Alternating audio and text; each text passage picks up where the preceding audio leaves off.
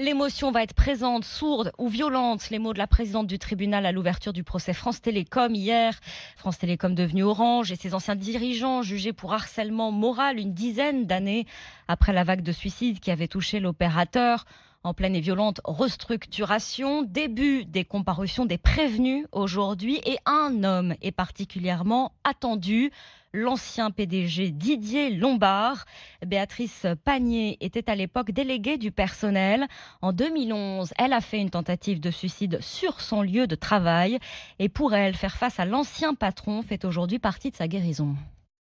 J'espère qu'au cours de ce procès, il va avoir des mots, des excuses publiques et sincères envers tous les salariés qui sont encore aujourd'hui en souffrance et puis les familles endeuillées. Dix ans après, pour moi, j'ai ma vie qui est brisée. Hein. Moi, je suis en état de survie. Hein. C'est-à-dire que moi, je n'ai pas repris un cours de vie normal. Je n'ai jamais pu reprendre le travail à temps complet. Depuis ma tentative de suicide en 2011, j'en suis à mon troisième accident du travail. Et c'est le corps qui dit stop. Il faut que l'entreprise, elle paye. J'y ai laissé ma santé.